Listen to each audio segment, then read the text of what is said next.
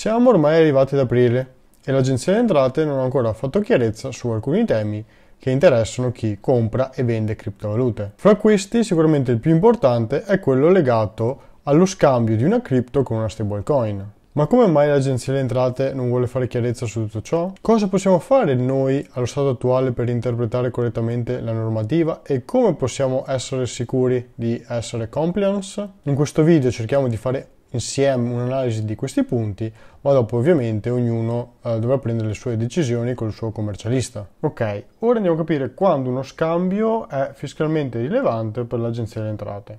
Se noi andiamo a leggere la circolare di ottobre, vedete qui loro ci dicono in sostanza lo scambio tra criptoattività aventi medesima funzionalità economica, come illustrato nel paragrafo 1, non sono fiscalmente rilevanti in quanto si considerano aventi uguali caratteristiche e funzioni.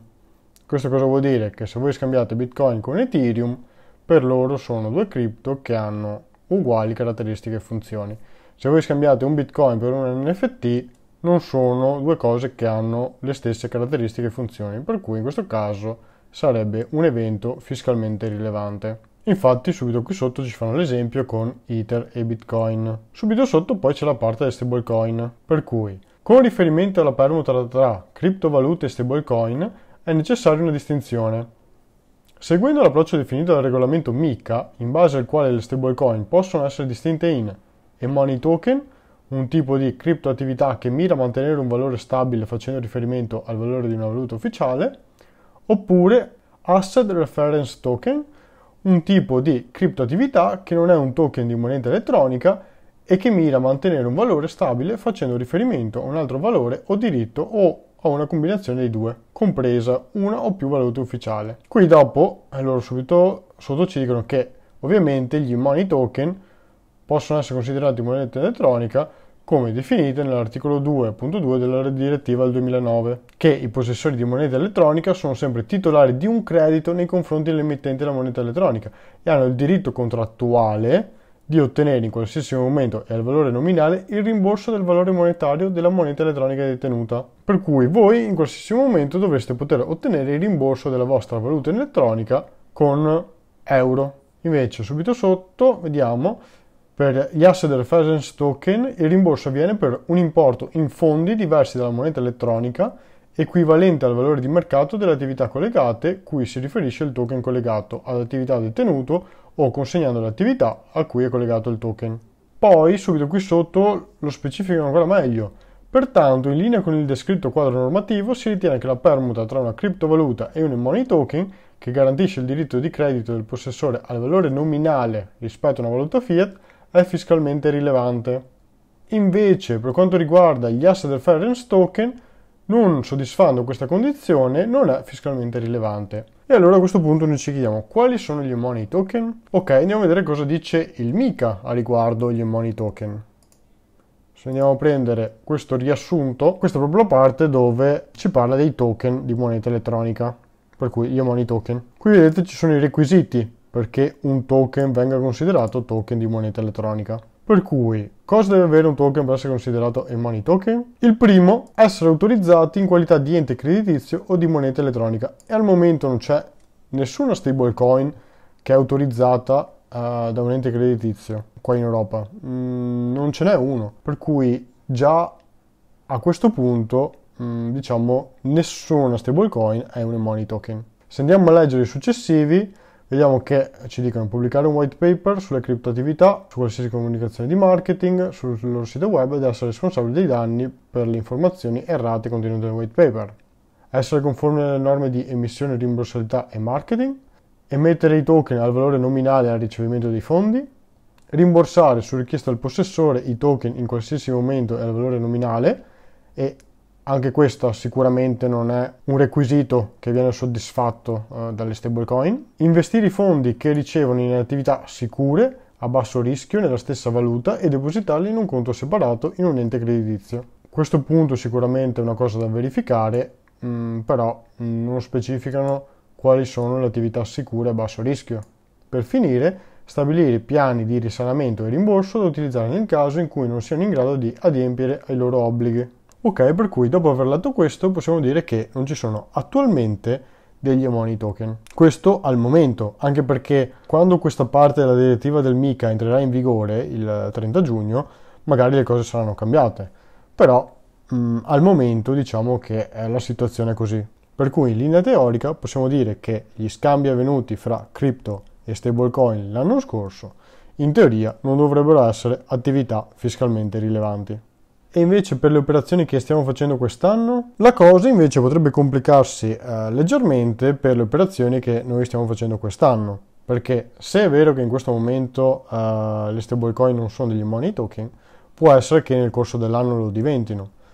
A quel punto lì la cosa potrebbe essere complicata. La cosa diventerebbe complicata perché avresti un anno dove la stessa stablecoin è considerata un money token e, e non. Uh, questo andrebbe a complicare il tutto. Ok, a questo punto cosa dovremmo fare? Allora, parto precisando che non sono un commercialista e che questa mia idea è basata sulle dichiarazioni di eh, Gianluca Massini Rosati, fondatore di Alcor SPA, e anche da altri contenuti e articoli letti nel web. Quindi, a mio parere, non penso che l'Agenzia delle Entrate per quest'anno e il prossimo verrà a fare le pulci su queste casistiche qua. Uh, sebbene loro intenzionalmente uh, stiano lasciando un uh, allone di mistero su questa casistica qua, e questo intenzionalmente e lo dimostra il fatto che diverse persone, diversi commercialisti hanno chiesto all'agenzia delle entrate tramite degli interpelli ma quindi cosa dobbiamo fare quando c'è uno scambio fra cripto e stablecoin? La loro risposta è stata tutto quello che vi serve è scritto sulla circolare del 27 ottobre, per cui loro non si vogliono esporre e dire sì, per noi è così, per noi è cos'ha. Da una parte anche giustamente perché eh, essendo il MICA una legge europea e l'Agenzia delle Entrate non essendo un organo eh, preposto a scrivere delle leggi, giustamente non è compito loro decidere cosa è un money token e cosa non lo è. Però sicuramente potevano mh, mm, dare delle precisazioni. A questo punto direi che eh, non essendoci un token che è un money token, in teoria dovremmo essere tranquilli. Però eh, il fatto che l'agenzia di entrate vuole tenere questo loro in mistero mi fa anche pensare che magari mh, mm, così a caso possano sfruttare questa zona grigia per magari eh, fare degli accertamenti a certe persone. Sinceramente, da cittadino mi fa pensare come enti che dovrebbero lavorare per noi eh, invece lavorano contro di noi. In questo caso l'Agenzia delle Entrate dovrebbe aiutarci a capire uh, come pagare le tasse e non rendercelo più complicato. Però siamo in Italia, è normale aspettarci dei comportamenti simili. Per cui, anche se in teoria dovremmo essere a posto uh, a livello di identificazione degli money token, in quanto al momento non ci sono degli money token, non si sa mai cosa passi per la testa dello Stato italiano e dell'Agenzia delle Entrate, per cui probabilmente qualcuno vorrà eh, essere sicuro di questo, oppure magari scegliere una soluzione alternativa che non comporti il rischio di finire in questa zona grigia. Per essere sicuri di non finire in questa zona grigia, sicuramente vi sarete informati riguardo alla stablecoin DAI oppure Pax Gold o altre stablecoin simili. Per cui stablecoin che non sono collegate a una sola mm, moneta fiat, ma collegate a altri assets oppure più assets oppure più uh, monete fiat insieme, in questo caso non fanno parte di e-money token, per cui fanno parte di asset reference token per cui facendo uno scambio fra una cripto come Bitcoin a Pax Gold, DAI o uh, altre stablecoin algoritmiche oppure con un sottostante in altri assets, sicuramente questi casi non sono attività fiscalmente rilevanti. Ok, visto che ormai siamo vicini al periodo uh, tasse e quant'altro, eh, sicuramente nei prossimi video eh, farò la recensione di una o più piattaforme ehm, che servono per la dichiarazione eh, delle nostre cripto. L'anno scorso eh, avevo visto Binance e Coinly, quest'anno vediamo, ho già in mente una o due, per cui sicuramente ci farò dei video a riguardo.